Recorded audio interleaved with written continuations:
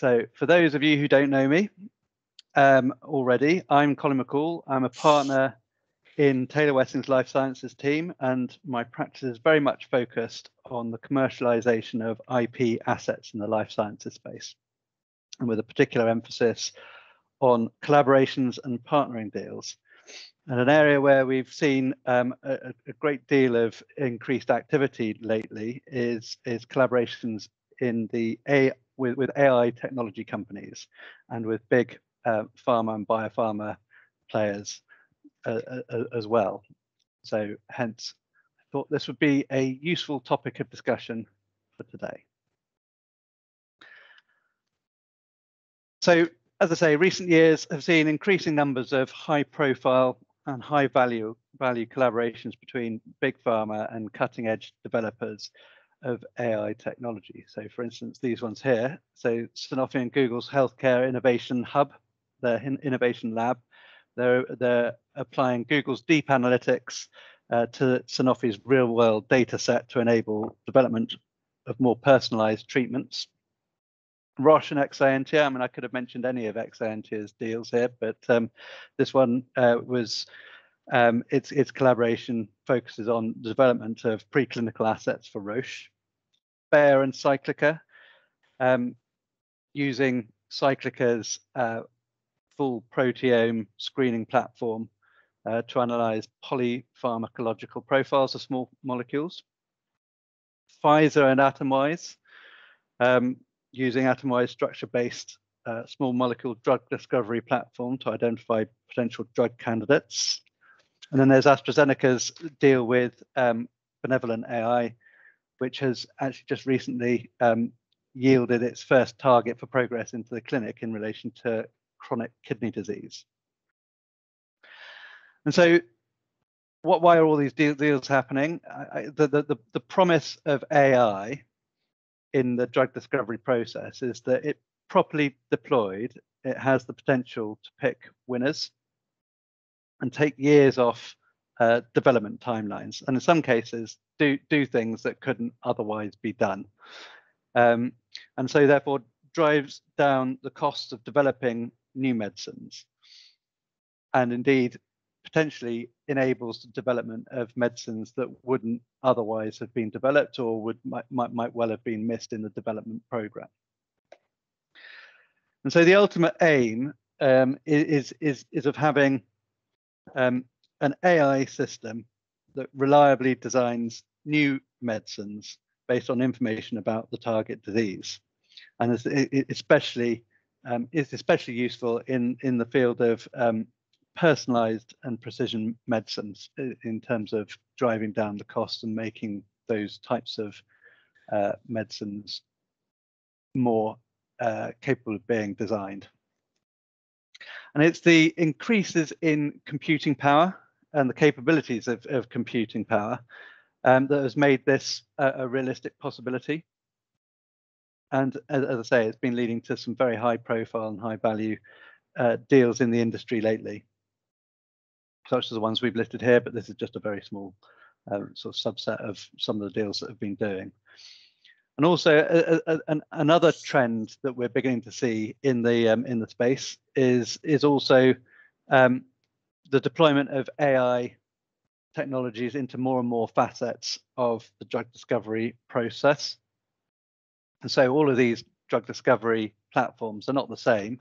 Uh, they all sort of target different aspects of that drug discovery program, but all with the same aim of um, increasing the productivity of um, uh, pharma R&D programs.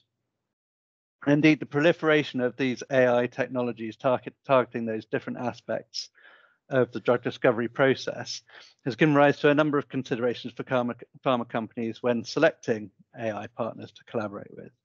So despite there being a lot of potential promise for these um, technologies uh, to massively shorten the development timelines for drug discovery and development, do they actually deliver on that promise? Um, does the AI platform actually work?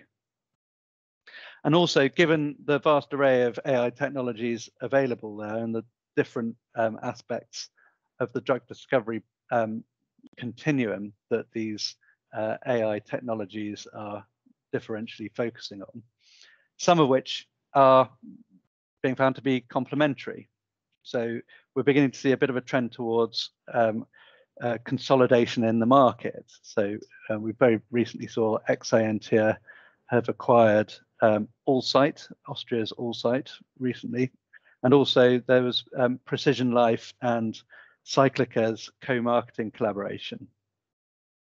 And if, if that co-marketing, so where, where they've sort of identified that their platforms um, are potentially complementary, and so they decide they go to market together to market their uh, their two platforms as a complementary um, end-to-end solution. And so if that works, that is likely to be um, to lead to one or the other acquiring the other one.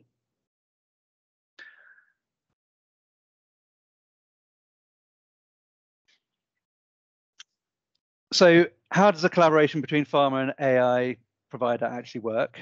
So you got on one side, you have an AI provider who have has developed some proprietary algorithms.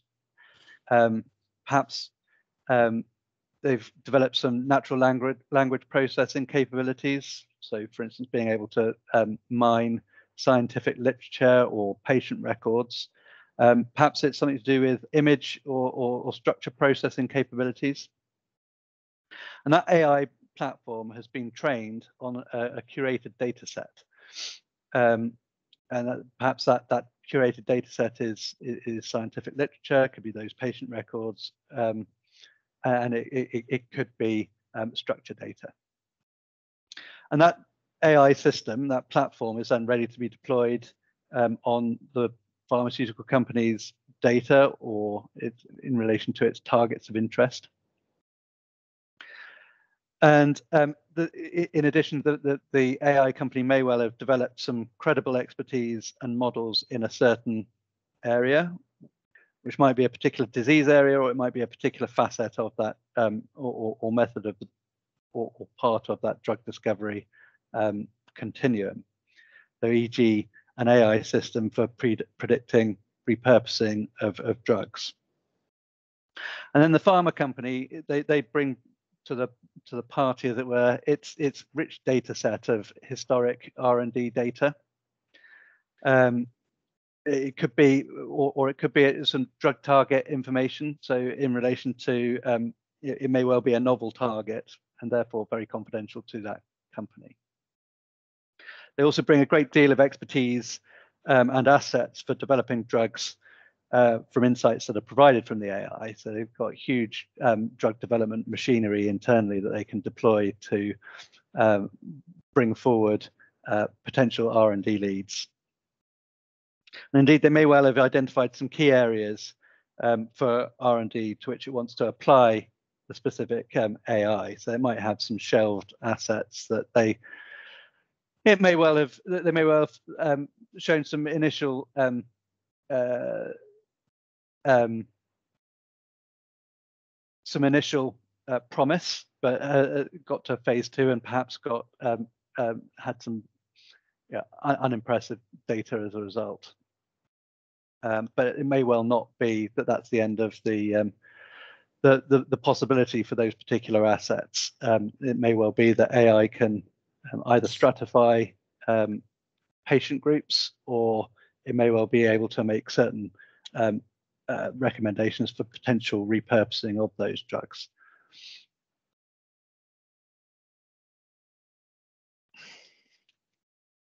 So what type of um, IP are we talking about? Oh, so I, I, just want to sort of actually taking a step back. Beg your pardon. So um, going back to those trends in the space. Um, so for collaborations that involve significant up, upfront milestones and royalty payments. The AI provider, a, a lot of those other um, those uh, those collaborations that I've identified, they did involve some quite significant upfront payments. And so, in order for a, a pharma company to you know, sign up to a deal that is going to involve some of those um, upfront deals, upfront payments, they're going to um, want to be confident that the um, the AI platform itself delivers on the on its promise, um, especially if there are going to be some significant upfronts involved. And so it's typical to see that um, companies dip their toe in the water a little bit with um, AI providers. And so it might be on some assets that are otherwise shelved, might be on assets that they already know the answers to, um, just to see how the AI platform performs um, as, a, as a starting point. And so, yeah, going back to the next slide. So what, what, what actually are we talking about when we're talking about what, what IP is involved in a, a, a, a collaboration between an AI provider and a, um, um, and a pharma company? Um, AI is is generally is, it is based on software algorithms, and those aren't patentable. And in practice, copying is possible. And once uh, once once the uh, the sort of the secret source is out there, there's, there, it can be quite difficult to restrain. And so there's nothing stopping uh, someone from creating an algorithm that does essentially the same thing. Um, the AI has been created based on some curated training data. And so the AI provider is going to be um, rightfully highly sensitive about providing access to its algorithm and the training data and anything about how the actual platform works.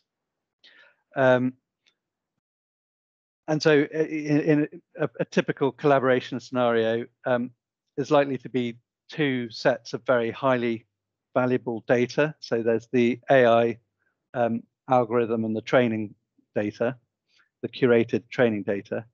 Um, but also there's going to be the, the Pharmaco's historic R&D data, um, which is going to be unique to the pharma company. Uh, and it's likely a gold mine of potentially missed opportunities for drug development. So practical um, protection of these two sets of um, sort of data is going to largely revolve around um, controlling access to that data. And this gives us our first potential sticking point. So dealing with both um, is dealing with both sides crown jewels without the AI algorithm and keeping that secret and the way that that works proprietary to the AI provider. Essentially, they they you know they they, they may well not have much to protect going forwards. And so it's, it's absolutely key to their business model to keep that as, as, as private as possible. And so um, the AI provider doesn't wish to disclose how its platform works, and the pharma company might not necessarily want to give access to its legacy data to the AI provider, especially uh, where the AI provider has its own internal development programs it's worth mentioning that um, the AI is going to improve um, uh, as, a, as a result of being further trained on the pharma company's um, uh, data set. And so, uh, and, and, hopefully the um, the output of the um, the AI is going to lead to some patented patentable inventions. These are going to be uh, insights and they, they could be predictions as to biological activity, targets, drugability, perhaps repurposing. Uh, but in the first instance, these insights um, uh, will be confidential know-how. Um, so there are going to be some issues to work around.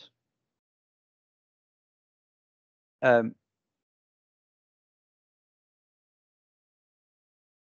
primarily is this access to data and algorithms.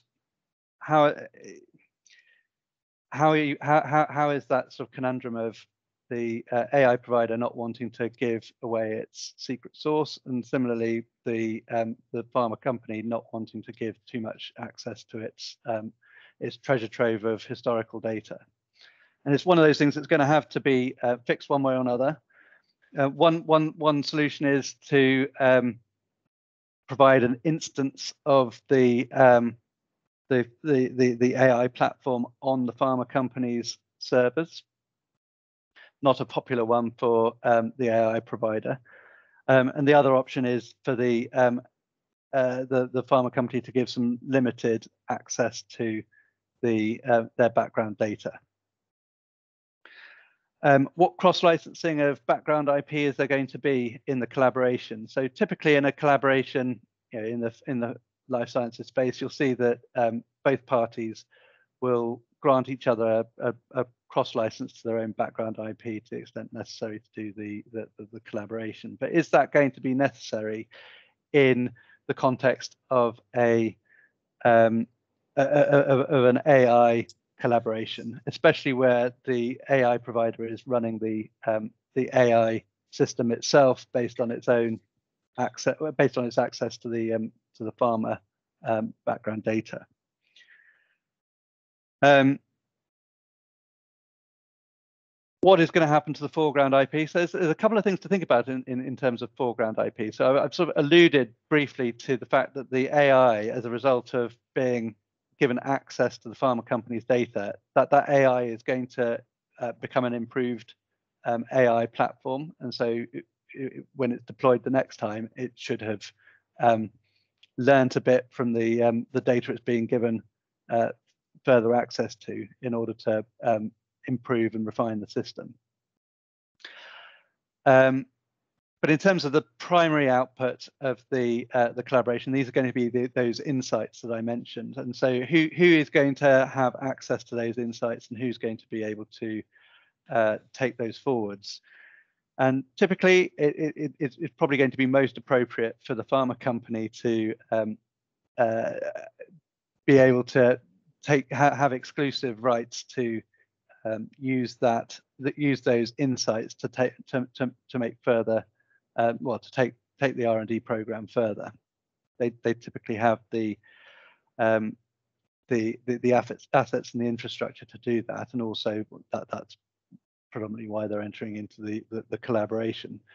But where you've got a, a, a, an AI provider that also has its own um, internal pipeline, it may well be that there are some uh, insights that the um, the um, that is spat out by the by the platform that the pharma company doesn't want to take forward. So what should happen to those? Should they be um, shelved? Um, and that might be the situation, the, the, position that the pharma company might want, want to take, or, or should the AI provider, where they've got that um, internal pipeline capability of their own, should they be able to uh, take those uh, programs forwards? Um, so we've got a, a, sort of a, a, a, possible structure here. So you could create a new instance on the the AI system. It's not typically a, popular one with the AI provider. Um, there will be those. Um, the the collaboration will um, sort of come up with insights for further development, and then how how will you structure that um, the, the, the sort of the upside and the sharing in the um, in the uh, the commercial upside of uh, of those R&D um, projects. Uh, typically, what we see um, a lot of is is that the AI provider gets um, uh, some either some some either some upfront or some FTE funding. Hello. hello. Oh, sorry. Um, had a little bit of feedback there could get some milestone payments, could get some FTE, could get some upfronts, could get some um, uh, royalties uh, based on future sales. And then you know, if, if there is that flip side of um, in relation to the insights that the uh, the company doesn't want to take further forwards, then and and the AI provider is is given the opportunity to uh, provide uh, take take that program further forwards, there would likely be a, a, a, a mirroring regime in relation to um, royalties as well, given that that was based on um, the access to the uh, life sciences companies' uh, data. Um, but also in relation to, um, given given what I mentioned earlier, in that sort of the proliferation of AI technologies that are capable of, of, of applying to the R&D pro programs, um, there are um, there are other issues that you might want to um, take into account. So there's um, do you if if a company is likely to get acquired by another AI provider and that AI provider has got um, some um, uh, internal pipeline and drug development capabilities of its own, is that likely to cause a problem? Um, do you want to deal with that in the contract? And also, um, if there are going to be multiple AI providers inputting into the same program, does that um, cause issues in relation to potentially um, royalty stacking type provisions?